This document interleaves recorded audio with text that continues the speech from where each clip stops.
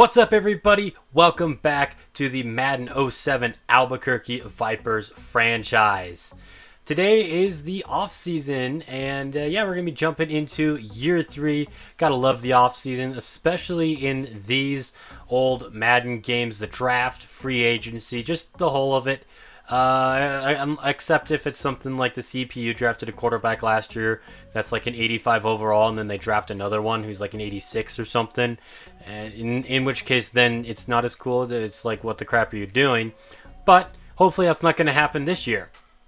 The Philadelphia Eagles beat the Indianapolis Colts in the Super Bowl. Very low scoring 10 to 7 game.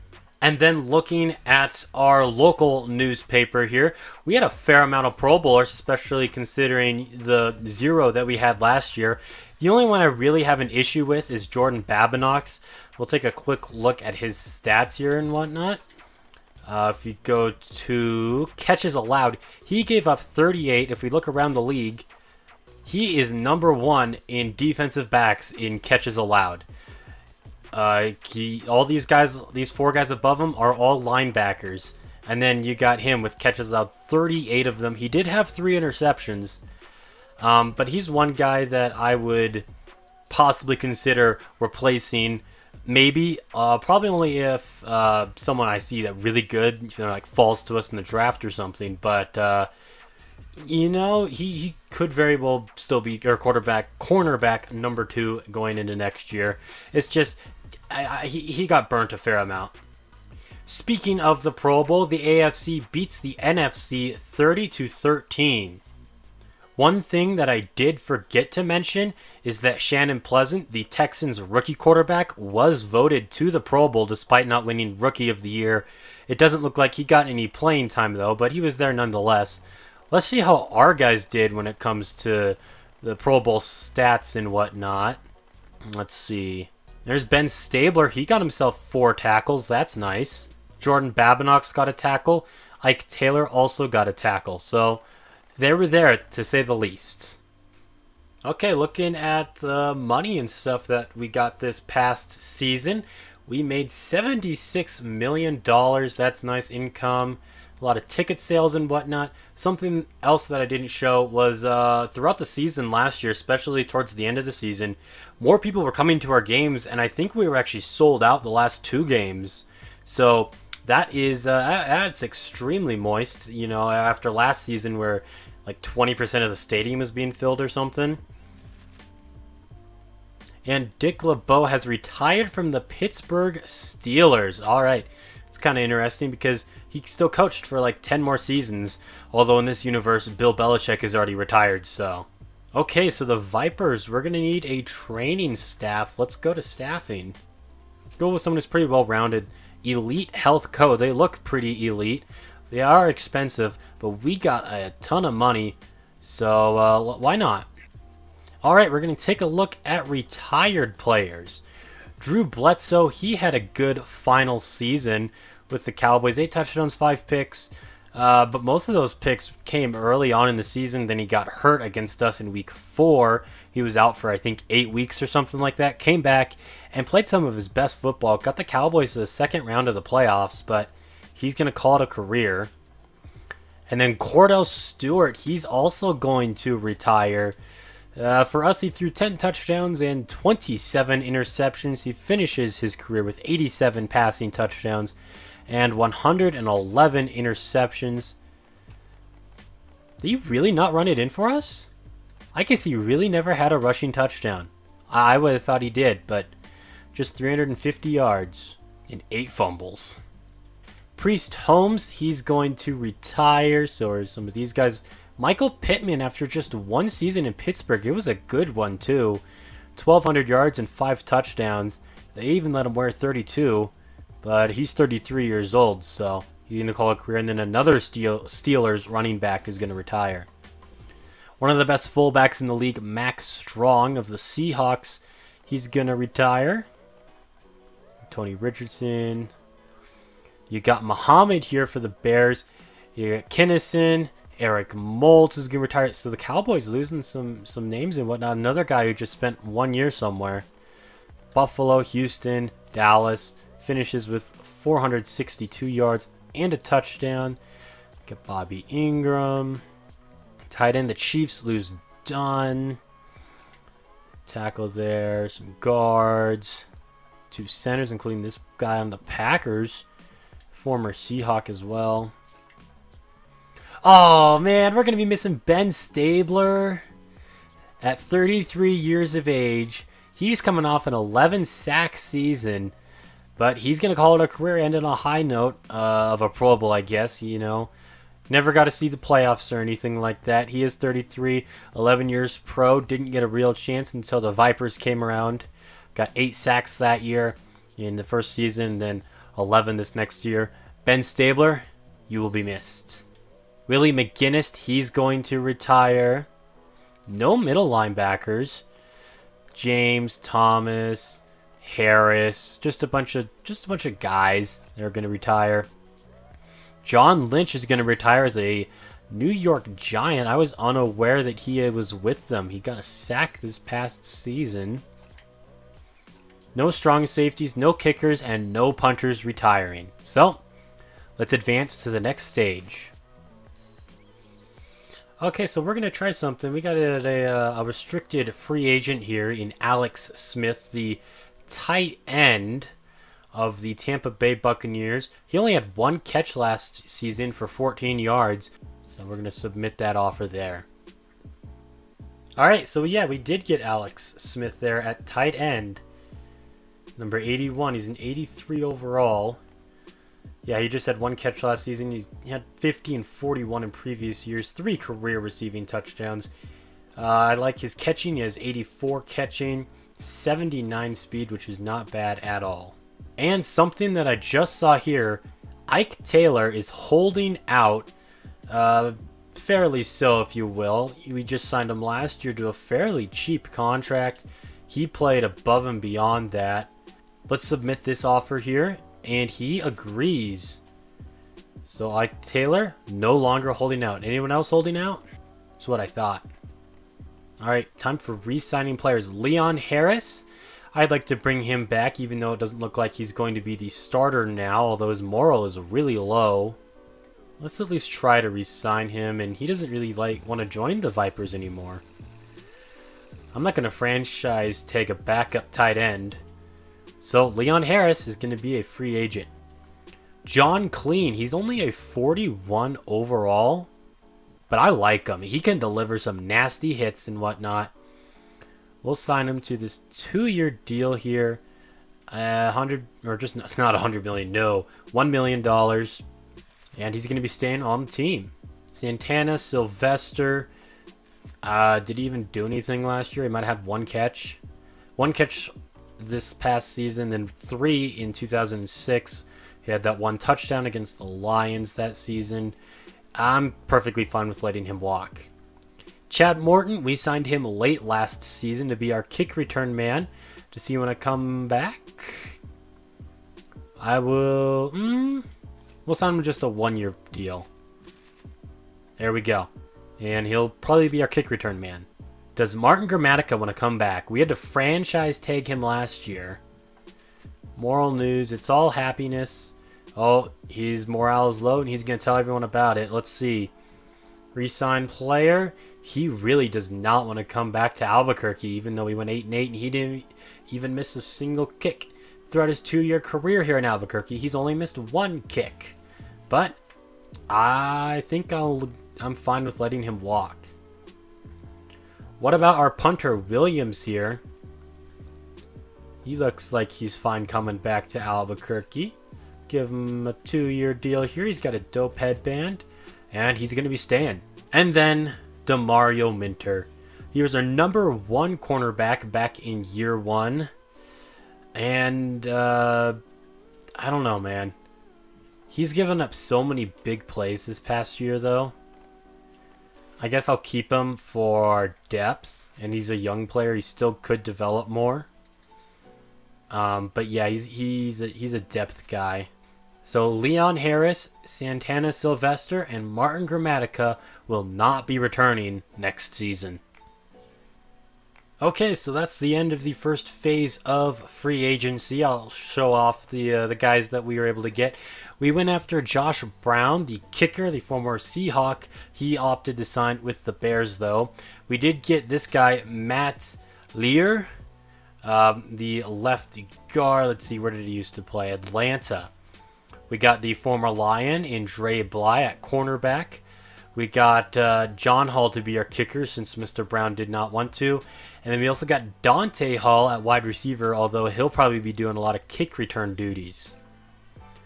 Looking at free agent signings around the league, the Jacksonville Jaguars, they pick up Rex Grossman, Byron Leftwich, he goes to the Lions, Steve McNair goes to the Tampa Bay Buccaneers, Billy Volek goes to the Bears, Aaron Brooks, he goes to the Ravens, you get Kyle Boller going to the Chiefs, and yeah, it's about it at quarterback.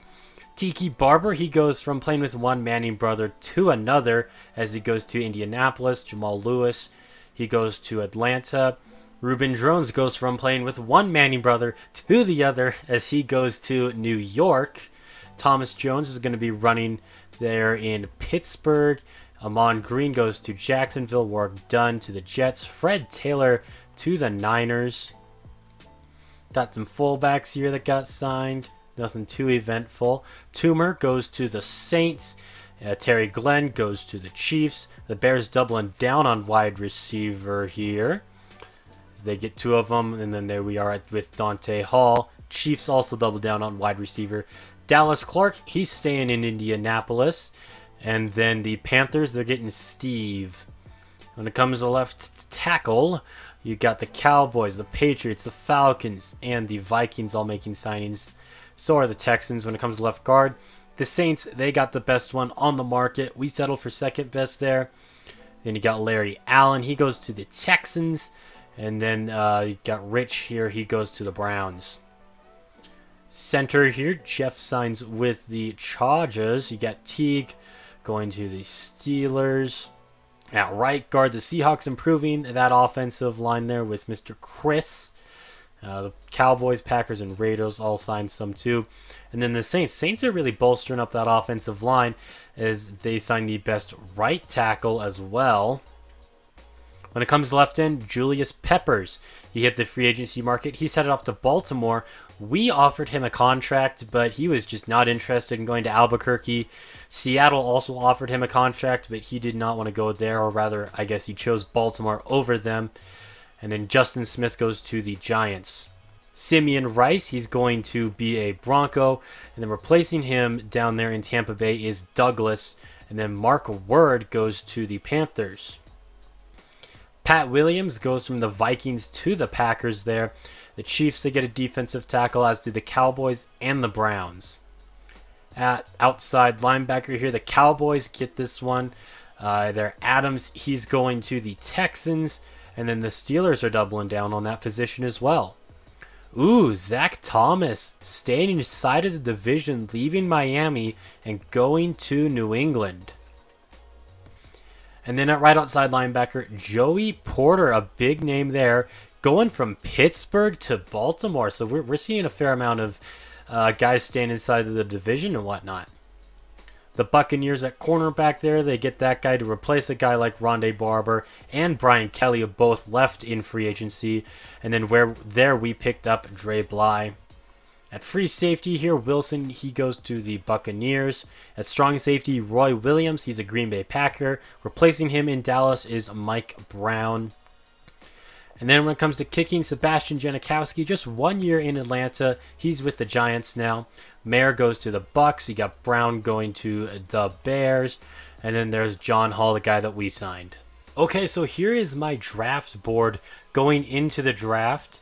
We got this running back here. Running back, I feel like I would like to get. Uh, just because I, Michael Bennett, he's getting older. He's injury prone. He's fumble prone. Uh, he's not going to be able to keep that speed forever. No, no, that's not what I want to do. There, there you go. But uh, the thing with some of these running backs, most of them seem to be pretty injury prone. I like this guy, Nichols. Uh, he's 5'5", looks like Tarik Cohen, but uh, he's, he's a fast little dude. Uh, I'm also looking at center. Center is a thing that I'm okay not getting because the rookie that we drafted last year uh, played decently well, but at the same time, if we can upgrade there, uh, I would also like to do that. We got this guy that we scouted, Chris Diamond. He's projected to go in the first. Another running back here, Phil Van Dyke. He was another guy that I liked. Probably my one of my favorite guys out of the ones that uh, I've uh, scouted and whatnot. Uh, injury is another concern for him. There's this defensive tackle, Marvin Harris, who I thought was okay, but I actually like this other defensive tackle better, Daryl Finnan. Uh, he played a lot better. Uh, it's basically the only scouting report that uh, doesn't really have too much negative to say. It does say he lacks ideal upper body strength, but uh, uh, I feel like he could be pretty good. You also got Mr. Ham at running back here. Uh, he seems to oh okay. A lot of negatives though for him. And then at the bottom here, projected to go in the second or third round, it's Anthony Kaufman. Uh, another guy who's okay, maybe, but uh, has uh, injury issues. Okay, I wonder what San Francisco's gonna do. There's this guy Trenton Van Dyke. He's ranked number one on the draft board. They also got a, there's a left tackle, a running back, a quarterback. I could see them going with either this quarterback from Arizona or this quarterback from Arizona State, uh, or I could see them going with uh, Alex Smith. Looks like there's a trade. Texans are moving up to number two. I want to see who San Francisco drafted, and then the Jets are moving up to number three. And it looks like none of those teams took a quarterback. Obviously, the Texans took one last year. No, I do not want to simulate the rest of the draft. Take a look at what they did. The Niners went and got Van Dyke, the right end. Hopefully, he won't be a pain. Texans got a left, ta- left tackle to protect their quarterback. And the Jets took a running back. And we're back here at pick number 19. There's Phil Van Dyke. He was these two guys I'm not really sold on. I really like Daryl Finnan. Maybe I could trade back a little bit. Nope. Do we go with Chris Diamond and bolster this offensive line even more? My gut says that's probably the right thing to do in the sense especially of uh, uh, you know, get our run game going, protect Orlando Cross, and we could move him or um, the other guy we drafted last year, to another spot on the offensive line if one of the other positions is struggling. So we're going to draft Chris Diamond. Let's see. So the Eagles have offered their first round pick, which is number 32, for our second and fourth. Y'all want to throw in another one? Maybe a fifth? Oh, no. Um, I think I'll accept it because I want that one defensive tackle there. There he is, Daryl Finneran. This might be a tad bit of a reach, but we're going to draft him. All right, we're in the fifth round now because we traded our second round pick and our fourth round pick, as you saw. I forgot we also ended up trading our third round pick at some point. I don't exactly remember when, or maybe that was a compensation pick. No, I don't know. Uh, but we're in the fifth round now. Um, looking at running back here, we're all out of guys that I had already scouted. We got Greg Pleasant, cousin cousin of Shannon Pleasant, maybe I don't know. We'll go with this quarter or cornerback rather, Jared Knight. Here in the sixth round, we're gonna grab Chad Pittman at tight end. All right, we still got basically one round left to go. But I'm going to do a quick recap of what every team has done so far. Here we got our center and stuff. Uh, we'll, we'll take a in more in-depth look at what we did. The Bears, they took a running back in the first round. There, the uh, the Bengals, they took a free safety, and then they took two quarterbacks. Interesting there, they got Redmond, and then they got Pittman. The Bills took a quarterback in the in the first round, Andre Bennett at pick number 21. They also got a safety, a kicker, and a wide receiver. The Broncos they took a running back, and then in the third round, they took a quarterback, Mr. Small. The Browns went with a right outside linebacker. then they boosted up their offensive line. The Bucks they went with a quarterback. So I uh, wonder if Kyle Cates or Steve McNair will be starting for them next year. I would think Cates would sit behind McNair until he retires, but who knows? The Cardinals beefing up their defense. You got the Chargers. They took a uh, bunch of outside linebackers as well as a running back. The Chiefs went with a defensive end here, Jordan, at pick number six. They also took a middle linebacker in the first round. The Colts, they picked up a center. They also got themselves a wide receiver. Dallas, they continue to boost up this offensive line. The Great Wall of Dallas becoming a reality here. The Dolphins boosting up their defense a lot. They also picked up a quarterback in the fifth round, Darnell Valentine. The Eagles, they their first pick was a right tackle. They also got a middle linebacker, and another middle linebacker there with our two uh, picks. The Falcons went strong safety in the first round. In the second round, they went kicker. They got this guy, Ugo Logan from Idaho. Interesting there. With the first overall pick, the 49ers took Trenton Van Dyke. So it looks like they're going to be sticking with Alex Smith next season, trying to get him to develop. The Giants, they doubled down on left guard. They also grabbed the guy I was looking at, Todd Ham. The Jaguars went with a cornerback, and then in the second round, they picked up a quarterback, Bob Clark. The Jets, they had a running back they picked at third overall, and then they also went with a right guard. The Lions got a free safety. They also got some special teams going on there. The Packers are protecting Aaron Rodgers, drafting a center and a right guard and then a left tackle and then drafting him hopefully just a backup there. It's a fifth round pick. Lamar Carter. The Panthers, they took Rodgers, the strong safety in the first round. You got another Van Dyke going in the first round here. Phil Van Dyke for the Patriots.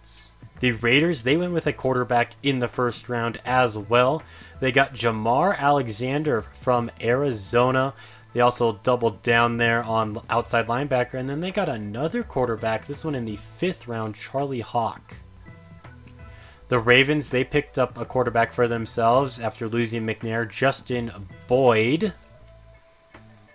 Well, they also drafted a kicker in the second round. It's two teams that have done that. Uh, the Redskins, they got a linebacker, a middle linebacker there, and a right tackle.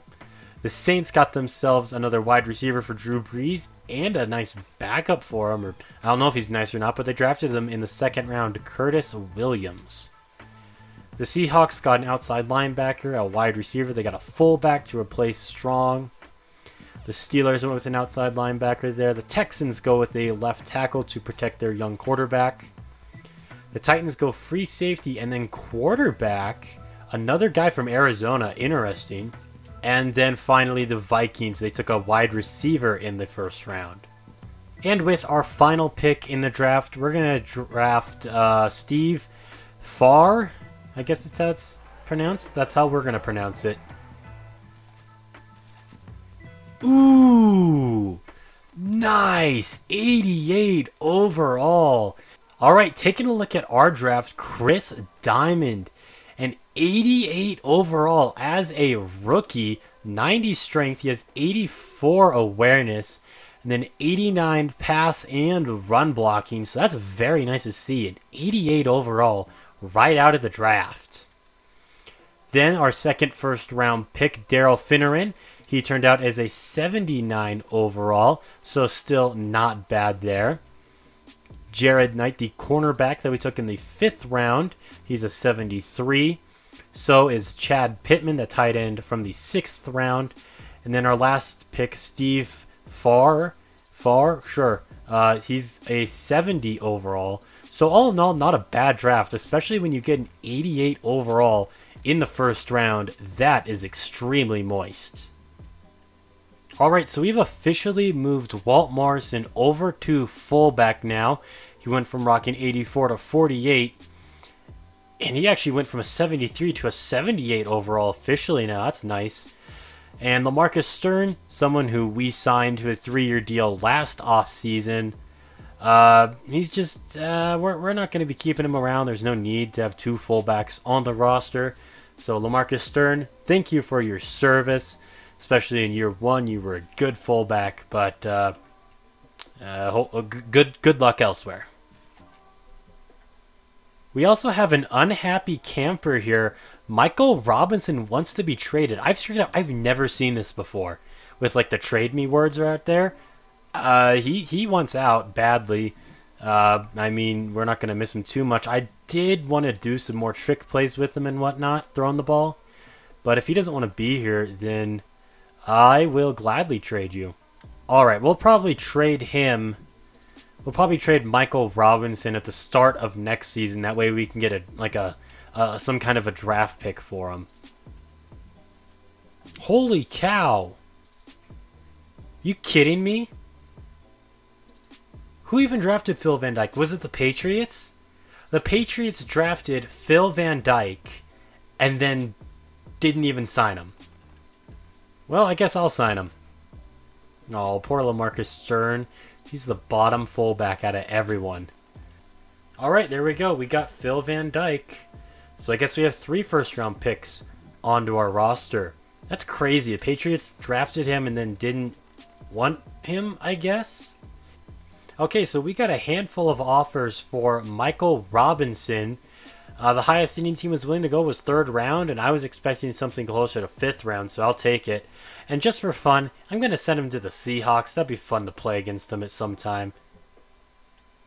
Michael Robinson is a Seattle Seahawk, and he's the last running back on their roster. Michael Robinson wanted out, and he wanted out badly. Like his morals all the way up now that he's in Seattle. Wow, dude. Van Dyke can just run you over. He's got good speed, too. I'm loving this. Can you do it again? Boom! Oh, no, it didn't work. Okay, so that's going to wrap up this off season. Likely another long video. Um, but I want to get in everything with the off season. Don't want you guys to be like, wait, where'd that guy come from? Or something like that. So, uh, yeah, I hope you all enjoyed it. I hope you're excited for year three like I am. Uh, but yeah, that's going to do it for this video. Thank you all for watching. I hope you all have a moist rest of your day. And until next time, this has been Jeffrey. Goodbye.